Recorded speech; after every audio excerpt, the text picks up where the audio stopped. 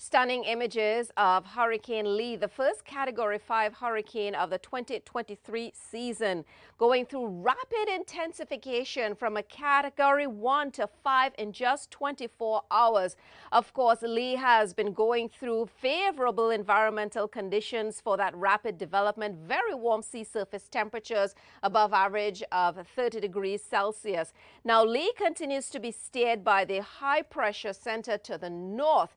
The big question mark is although there is no direct impact to land over the next five days as Lee is expected to remain a major hurricane, computer models project that Lee will make that turn to the northeast of the eastern seaboard and all interests along the eastern seaboard and Atlantic Canada will be watching closely to see where it goes in the long range.